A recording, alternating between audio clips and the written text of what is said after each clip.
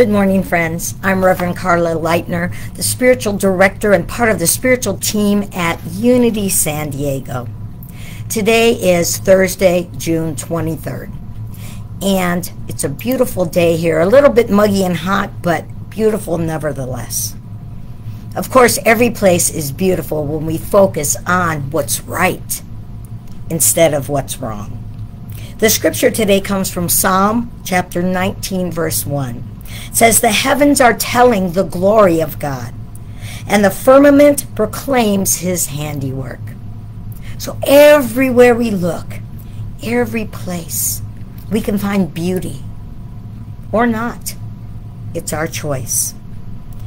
The Daily Word talks about something that really gave me uh, something to think about today. It talked about everything that touches my skin, a loving touch, warmth from a fire, heightens perception and anchors awareness in the present moment. And that brought to mind this little memory from my mom that said, You see with your eyes, not with your hands. Of course, we're going in the store or whatever. And then I've been known to tell my kids that you don't touch, you see with your eyes, not with your hands.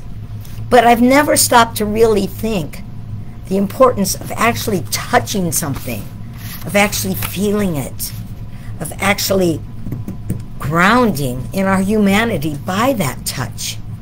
And while that might not be applicable, this might not apply at uh, when we're going to uh, Claire's with my 10 year old daughter to look at all the girl stuff, or, you know, shopping at the sports store with my sons. It certainly brings home to me that this really does anchor our awareness and heighten our perception. And it does really bring us to the moment. And so sometimes I notice that when I need to ground myself, of course, I feel the floor, or I might touch a wooden desk, or I might put my hands on the chair. But that act of touching and really feeling has that way of grounding us. And so I, I want to thank though whoever wrote this daily word because I never really thought about that. And uh, that's pretty cool. I like that. Well, I also love this because it says the affirmation is as I focus my attention, the world around me comes alive. As I focus my attention, the world around me comes alive. Say that with me, please, friends. As I focus my attention, the world around me comes alive. Now, what does the world around you come alive to? Does it come alive to lack, limitation? I didn't see very many of this. I didn't see very many of that. There's not enough of this. There's not enough of that. Or does your focus go on, wow, quality not quantity, or beauty, not unbeauty, or ugliness, I guess.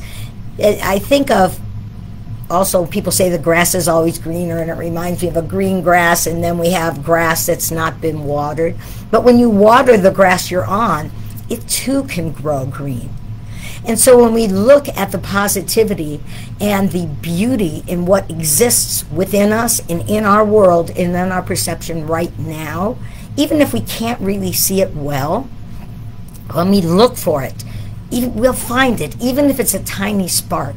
And we can take that spark and ignite it to be a bigger expression of beauty and positivity, to a, be a bigger expression of God.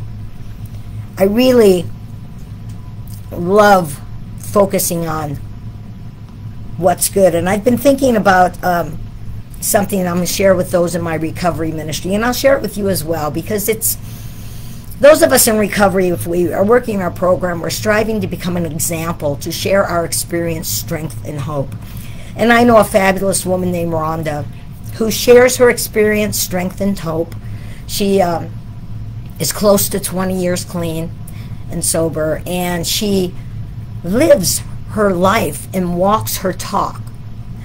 And she's put aside and worked deeply on whatever was before, And she is striving to be an example, and she's a fabulous example.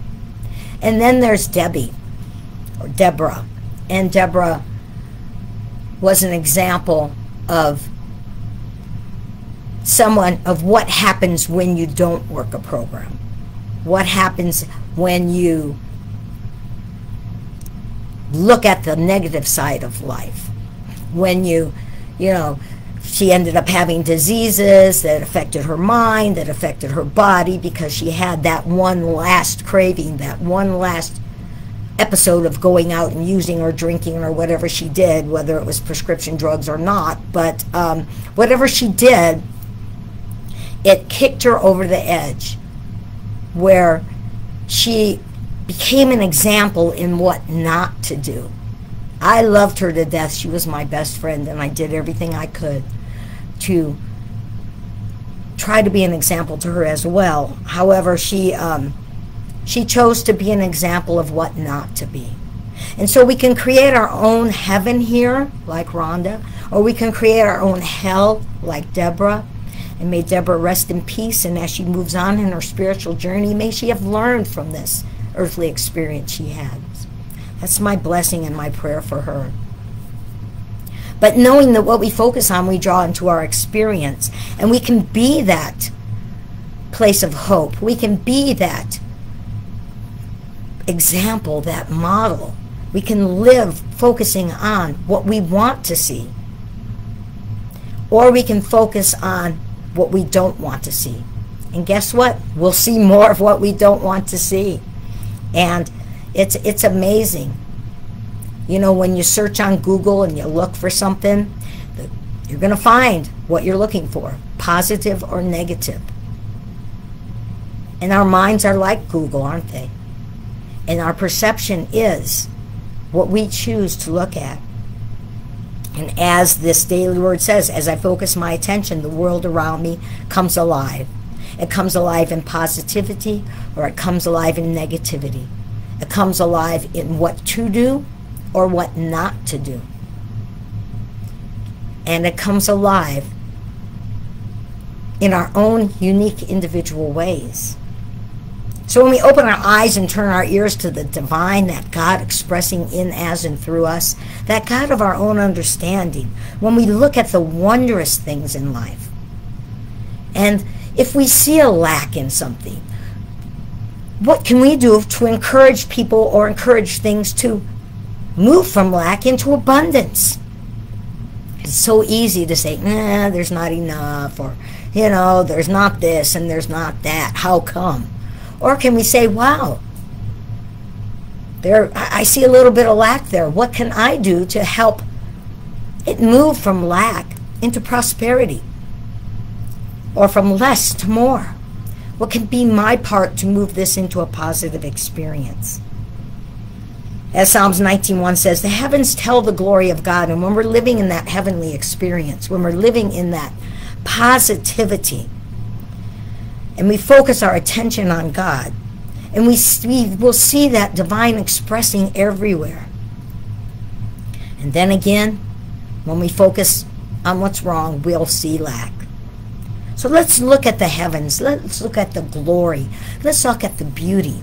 And if we look hard and we just see it a tiny bit, or we're challenged as to where to find it, if we see and notice that things are not the way we would like them to be, instead of focusing on how come and why not and that's just so horrible and yeah yeah yeah let's focus on wow what can i do what is mine to do to move it into a prosperous position to move this if i'm lacking limitation to abundance what can i do personally in my life whether it be an example whether it be encouraging others what can i do so let's take a moment, friends, to just look at focus. What I focus on is what I bring into my life and what I bring into my world. We know the universe brings to us that which we focus upon. So let's take this take this moment to wheel out, breathe, and just take this time in some safe and sacred meditation to focus on our world coming alive with the glory of God. So I invite you, friends, to set aside anything you're holding in your laps, in your consciousness. All those to do lists, those worries about what's not happening or what is happening, or just set them aside for a moment. And let's take this time to focus on the beauty of God, the divine expressing through each and every one of us. And especially focusing in our time of silence on what is mine to do. So, friends, as we sit here together in this time of meditation, in this sacred and safe space, we know that it's so easy to look with lack. It's so easy to look with limitation. It's so easy to look at what is wrong, what is not enough, how come this isn't fair, what's the matter, this is horrible. We can jump on that bandwagon because that bandwagon is pretty full. But when we know within the certainty of our souls that when we focus on expands in our awareness, expands in our life, we take this time to focus on what's right, what's good, what little tiny blessing can I see that I can help expand into an exuberant, manifested blessing of the oneness and the beauty of God. What is mine to do, especially when I see something that just doesn't feel right or look right? What is mine to do to open up that expression of God, to help others to see that we are all one? And how can I walk my talk as I focus on what is mine to do? To focus on openness, enlightenment, and positivity in the silence.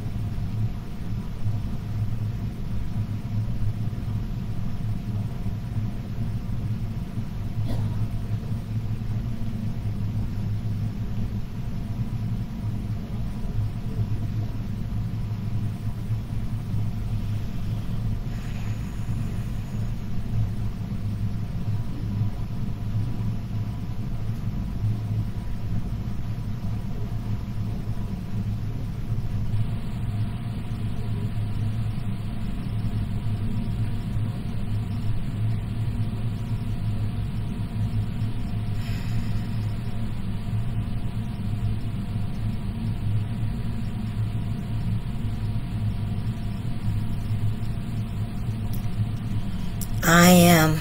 I am a powerful expression of God. I am a positive manifester as I manifest beauty, peace, and what I would love to see.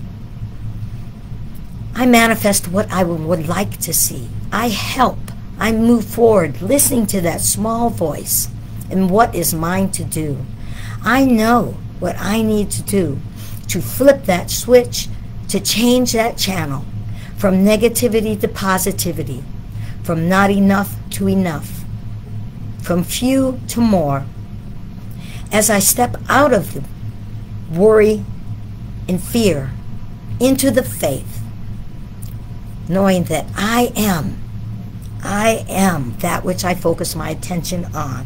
And as I focus on the world around me, I become alive with the beauty and power of God. And I say, Thank you, Thank you, thank you, God. And so it is, and so it shall surely be. Amen and amen. Let's take a breath. Let it go. Open your eyes as you feel moved to do so, friends. And any time during the day when you feel the need, just take that breath. Listen. Listen for what is yours to do. As each of us step out of our comfort zone just a bit to make our world a more positive place. Thank you again for joining me today, friends. Have a happy day. Namaste. Bye bye.